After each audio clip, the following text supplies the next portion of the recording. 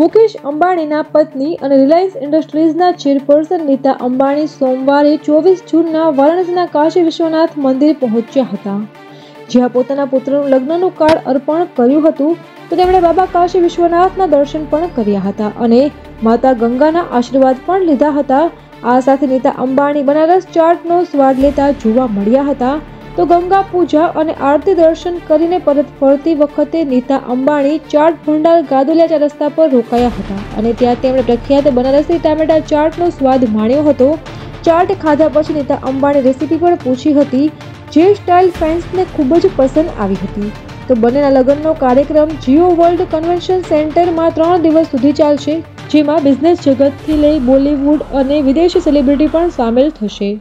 અમારી તમામ માહિતીથી અપડેટેડ રહેવા માટે જોડાયેલા રહો ત્રિશુલ ન્યૂઝ સાથે.